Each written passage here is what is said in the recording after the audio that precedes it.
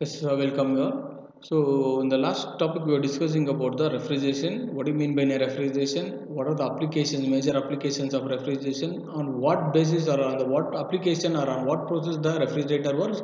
And next, we have discussed about the what are the types of refrigerator that is vapor compression uh, refrigeration system and vapor absorption refrigeration system. So, first we are going to discuss about the vapor compression. Now, you can able to see this the block diagram of vapor compression so you can measure the major parts of this in this refrigerator uh, refrigeration system is evaporator compressor condenser and expansion valve so these are the major parts of the refrigeration system. Without that these parts it cannot able to work. First okay let us assume or let us assume or when we starting is about the this evaporator already the liquid refrigerant will be present inside the evaporator so it is it will be in the partially in the form of vapor only means it is in the form of liquid only. What happens when the evaporator starts uh, extracting the heat from the cabinet or system? How it will start extracting the heat from the cabinet or system is whenever we are going to keep any items into the refrigerator automatically it will be the temperature is it will be in the form of surrounding temperature only. Means it will be the higher temperature gen inside the refrigeration system. That is automatically it will be there so whenever we want to keep any uh, system uh, any items into the system that is what we call it as in a cabinet this evaporator starts absorbing the heat content from that particular uh, items. Whether it might be a food stuff or whether it might be a fruits or whether it might be vegetables or anything what we want to keep inside the cabinet that is inside the refrigeration system automatically this evaporator starts absorbing the heat from the that particular items. See before that already with the evaporator will be having some refrigerant which will be having with the low temperature and with the low pressure with partially vapor. Now what happens here? When it starts absorbing that uh, heat content in that particular items automatically that liquid will uh, undergoes in the form of vapor. Means it changes its phase from liquid to vapor. How it changes is because of the heat content what is present inside the uh, refrigeration that is cabin cabin system that heat will be absorbed by this evaporator.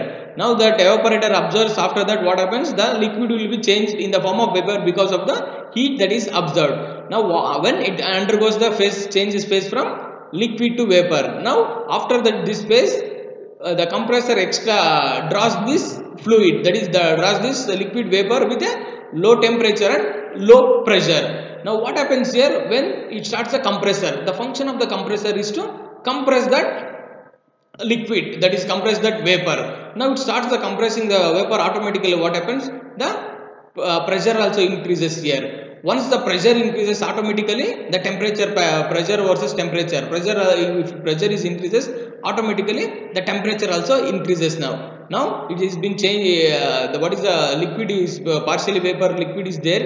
That changes is from it increases the pressure along with the temperature means how uh, how it is increases its pressure is because of the compressor compresses the vapor which is present in the form of uh, in the evaporator which is coming to the compressor. It squeezes means it compresses. Whenever it going to compresses automatically the pressure of that vapor increases. Once the vapor pressure increases automatically the temperature also increases here. When it moves when it, uh, after uh, coming from the compressor it moves to the condenser. Now when it is com coming to the condenser the vapor will be in the form of with a high temperature uh, high pr pressure with high temperature. You need to remember when it is starting was with a low temperature with the low pressure then automatically it has been changed its phase from liquid to the vapor. That vapor will be in the form of low temperature and a low pressure. When when it reaches to the compressor automatically the compressor compresses that. Now the pressure is increased. When pressure is increased automatically the temperature also will be increased. Now that uh, high pressure and high temperature refrigerant is moved will be moved to the condenser. What the condenser does here? Now the condenser reduces the heat. Means it releases the heat content which is present in that refrigerant it uh, sends that heat to the surroundings.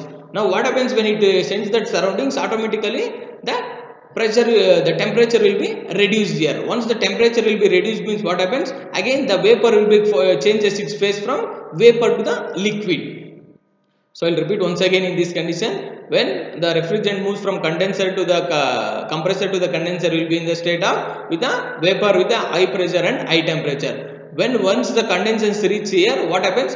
The the condenser absorbs here the heat heat content which is present in that vapor. Now what happens when if, the, if you remove the heat in the vapor automatically again it changes to the liquid state. So again that which is the heat content is there that will be sent to the surroundings. Means it will uh, reject the heat at this particular system. In this evaporated it absorbs the heat content. In this condenser it rejects the heat here. So what happens when it is rejecting the heat? Now the refrigerant will be in the form of low uh, low pressure with low temperature with high pressure. Here only the temperature has been reduced. When the temperature has been reduced automatically what happens here?